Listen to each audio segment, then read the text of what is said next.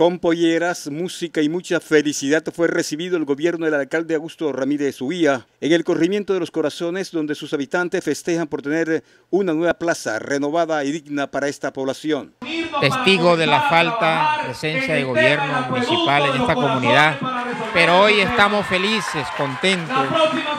La comunidad está feliz con esta obra tan hermosa que le ha cambiado la cara al corregimiento de los corazones.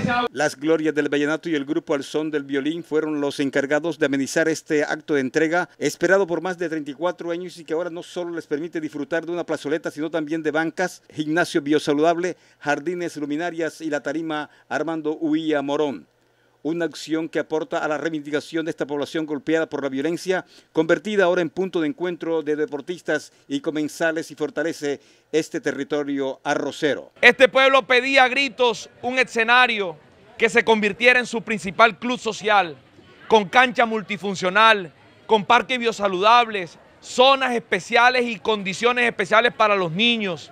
Y hoy, 21 de septiembre, Día del Amor y de la Amistad, vinimos a departir con ellos, a entregar, a entregar formalmente este parque. La alegría también embargó a los moradores del barrio Villa Dariana, sur del capital del Cesar. Ahí fue pavimentada la manzana 62 para acabar con el barro y el polvo que generaban un dolor de cabeza cada vez que sus residentes accedían al sector.